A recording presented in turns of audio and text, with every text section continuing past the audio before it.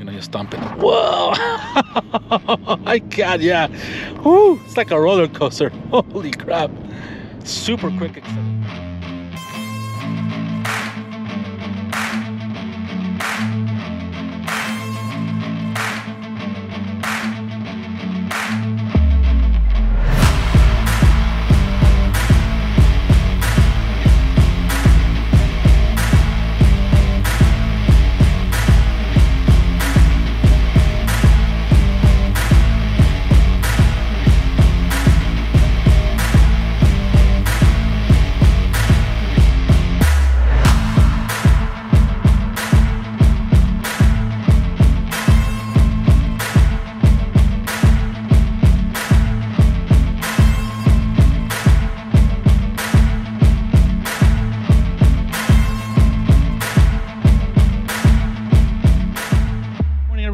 Afternoon everybody welcome back to the channel. My name is pedro. Hope everybody's having a fantastic day.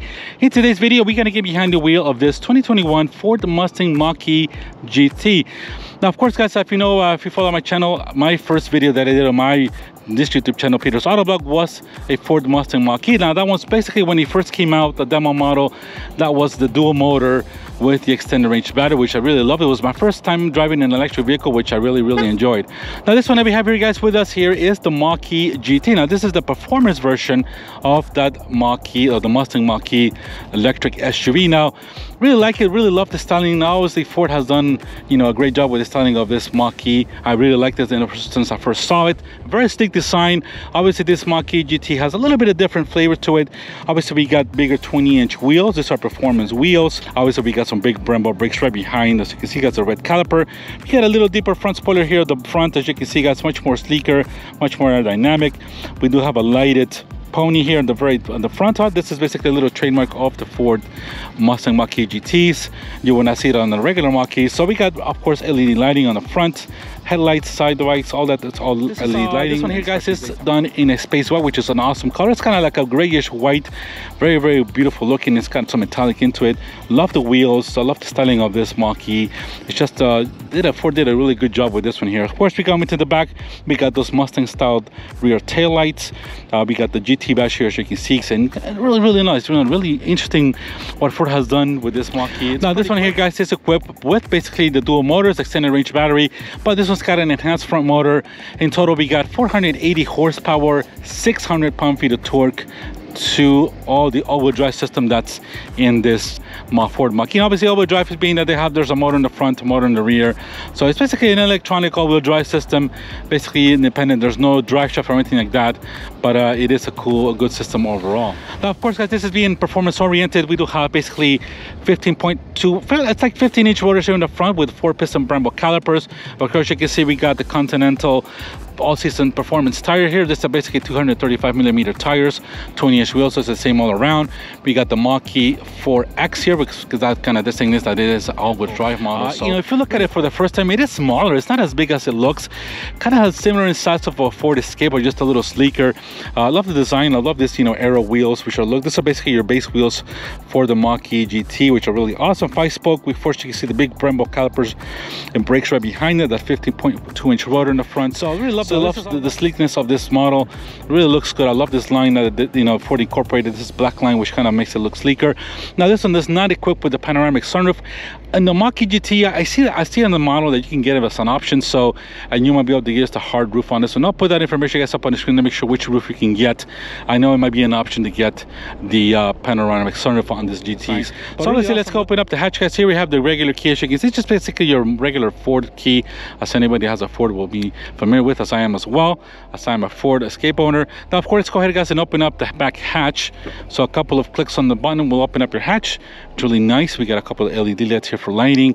It's a pretty good, decent sized trunk space. Obviously, we got about 30 cubic feet of, uh, of uh, storage space here in the back. Now, As you can see, this one's got some uh, rubber floor mats here on the bottom. It looks like Mach-E rubber floor mats. Basically, looks like factory floor mats that are back here. Now, as I mentioned, this is a slightly used model with about 8,000 miles on it, but it's still pretty much brand new, as you can see, guys. So pretty nice, the size of that. Let's go ahead and just uh, drop that up, guys. You can see the hatch up goes back down, really nice. So plenty of space here in the back, guys. Let's go ahead and take a quick look at the rear space here. So we open up the door. As you can see, guys, there's no handle on these on these small keys. You, so obviously you have to just kind of use. Now there is a little pad here so you can grab the door. That's kind of integrated into the design. So here we go, guys. Inside we have the black onyx interior. Now this has got the copper stitching, which is really awesome. And of course, this is part of the GT Perform and GT package. So as you see, we do have a center armrest here as well. We do have some AC outlets and a couple of USB connections there as well. So it's really good. It's not bad. If in terms of room, it's pretty nice. It's not bad at all. Oh, I'll hit my head a little bit. Now the seats set back a little bit further, but you know, they still got plenty of space. It is a little more compact, say, than a than a Ford Escape, but there should be plenty of space here in the back for four comfortable people here sitting back or kids or anything like that. So as you can see, we got black headliner here. We got some lights, pretty simple. And of course, we got that big, nice dash layout here with a big 15 inch screen here in the middle. As we'll be heading up there in just a few moments, guys. But really cool what it, this is awesome interior and i love the copper stitching here with the suede. It's really really cool. Uh, and of course we got our Bang & Olufsen system that's in this Ford Mach-E GT so all right guys let's go ahead guys and uh, get to the front. So all right let's go and take a quick look at the front as you can see guys so let's go ahead up and up. Before you see the way this is designed into the door. We got a little button and you have a little bit of a handle there to push the door out. Kind of interesting design that Ford put on this one. So let's go ahead guys and we're gonna give it a couple of uh, tucks on that lever and uh, coming here to the front we're just gonna raise the hood up. It's already put set. Now here here we got a front pretty good decent size of space up here as well as you can see. So you got plenty of space here in the front to put some bags or some groceries something smaller but at least you got some sort of you know opening for for put a little bit of things as well. So as you can see guys we got basically your windshield wipers here.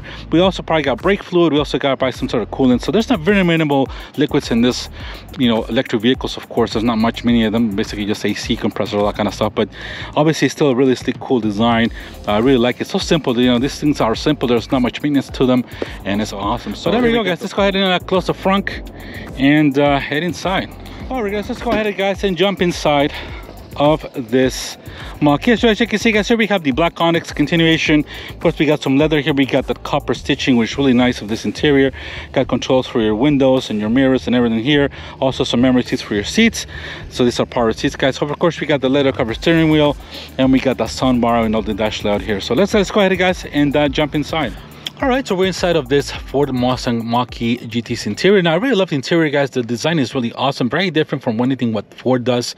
Visibility is fantastic. Obviously, we don't have the sunroof to give you a little more lining, but that's okay.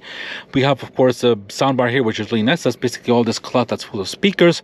I really love the design. Obviously, we got the big 15 and a half inch screen here.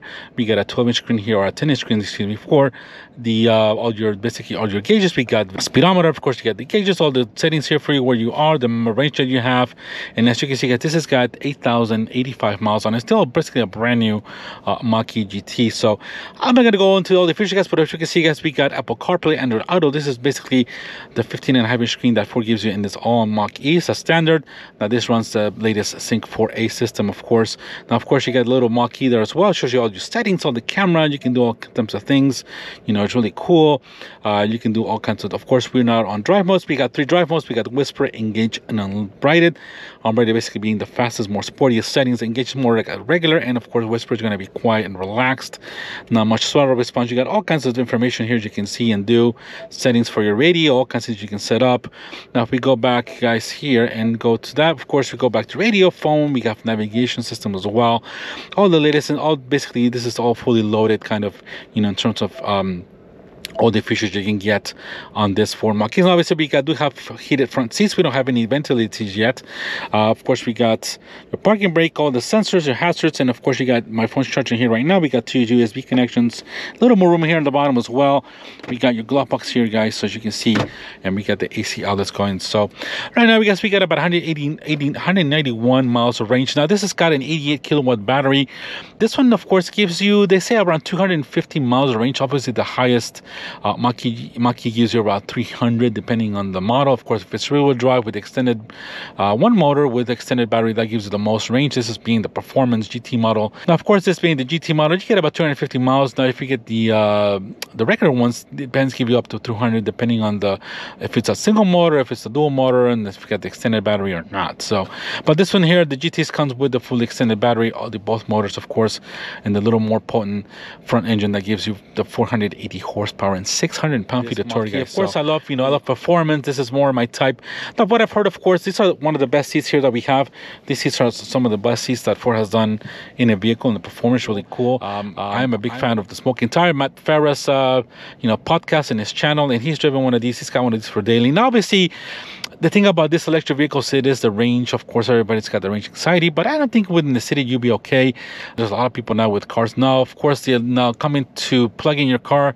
That's another uh, basically another discussion for another video there is not such a great you know support there is stations but according to some of the people that i've heard you know of course you got problems with fast uh, charging or you can't find a charger that works or you can't find a charging station at all. Somebody's there it all depends on the situation where you are. But to travel in long distance is not the most easiest thing to do but it is manageable yes. Go ahead guys and get to go and drive this. And of course we got no transmission. This is just a single speed electric motor so we do have a little roundel here to put it in gear now we're gonna put. Now of course before we go let's check out the reverse camera. As you can see guys this is backing up. We do have sensors and trajectory lines. The you got a great camera that's very good quality in terms of the graphics. You can see you can also uh, basically uh, go down. Uh, but the graphics are really good. Plenty of visibility and it's got a pretty good screen here to see what's where you're backing into. So let's go ahead guys and get out of that. Put it in drive and let's go guys and go out for a drive. And somebody coming here on the side so this is going to be my second time behind the wheel of a Mach-E GT. I mean, excuse me, of a Mach-E, uh, Ford Mustang Mach-E. Now, the GT model, this is the first time I'm behind the wheel. I did do a, a, slight video of one that was parked here that was being delivered to a customer. That was the first time I did get in it. Now I'm going to get to drive one. And I'm very excited because this is that's performance oriented with performance uh, springs, you know, the bigger, thicker, the bigger tires. Obviously, you got bigger brakes and uh, so yeah this is more let's go ahead guys and uh, get on it. Oh yeah. Oh my god.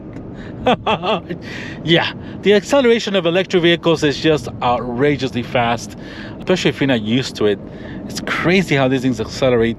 And of course we got 600 pound-feet of torque basically instantaneously which is something that if you have not experienced is fantastic. Really really gets you up to you know really really wakes you up and it's pretty quick too.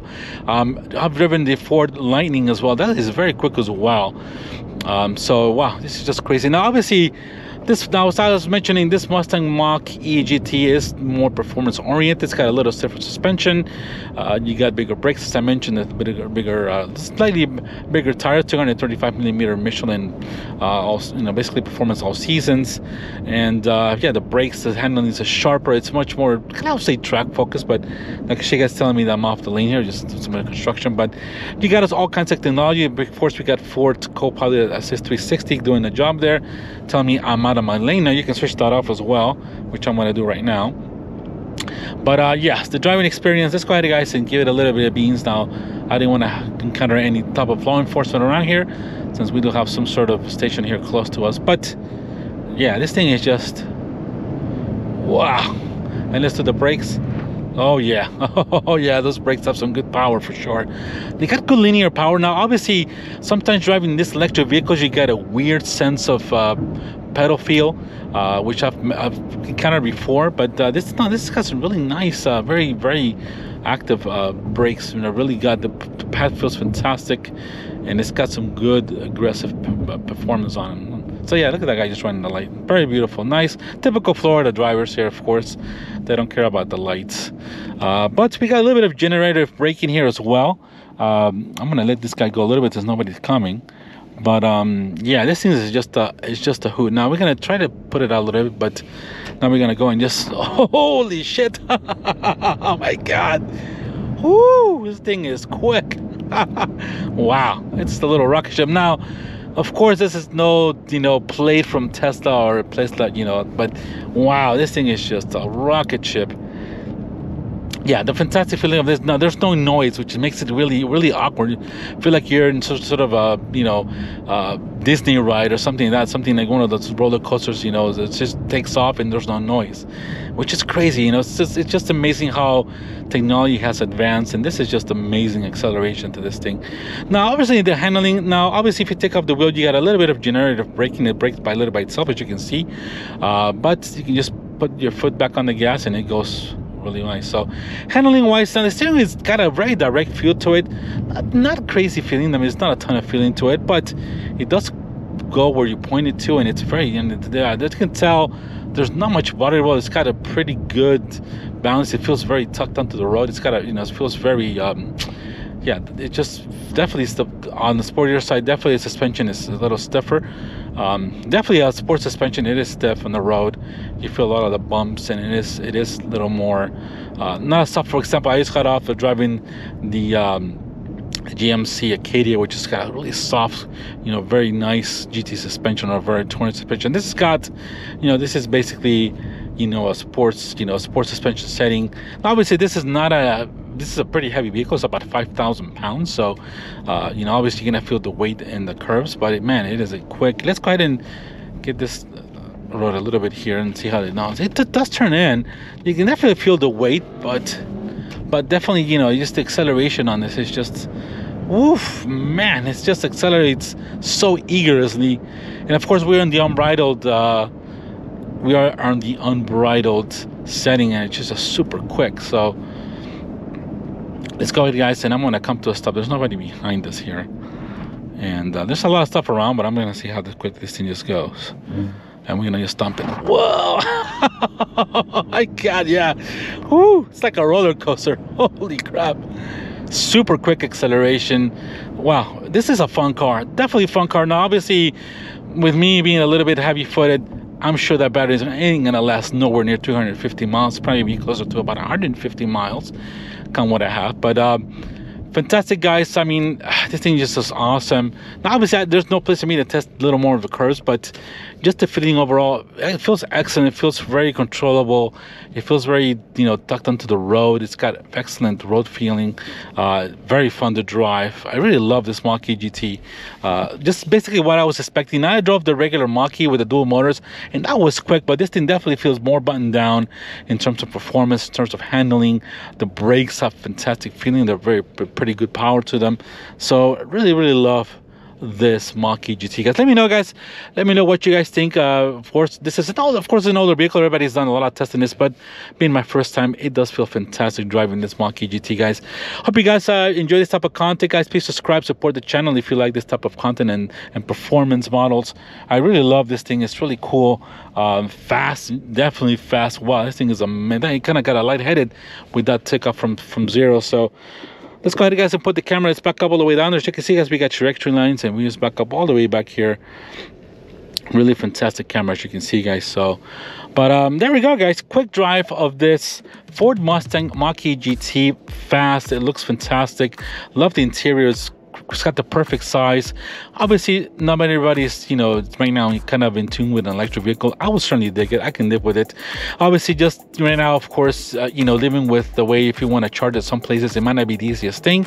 Here in Florida, I really haven't experienced anything or talked to anybody who's done a lot of not Tesla related chargers, but other chargers from like Electrify America, something like that. It all depends on the network. Now, being uh talking you know listening to matt farah pounds with the, not the Mach-E itself but charging stations that you can't even you go to a station you know you expect it to be at 200 or at level 2 and expect it to be quick it's charging like at 25 percent.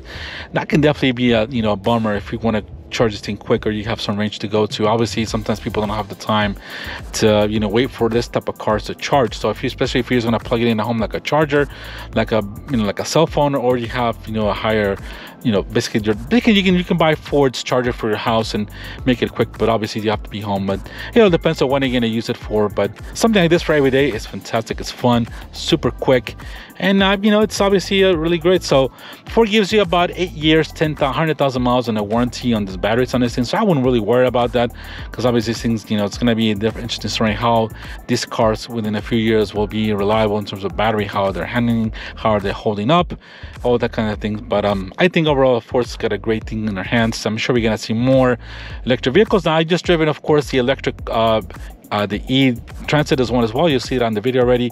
So I'm getting my hands on a lot more electric vehicles, and it's a lot more videos coming up, guys, as well. So thank you so much, guys, for watching. I appreciate you guys uh, being here with me. Thank you so much for subscribe, guys. If you have not, if you have not done so, please subscribe, hit the like button. I appreciate every one of you. Thanks so much for watching, guys, and we'll see you guys on the next video. Take care. Bye bye.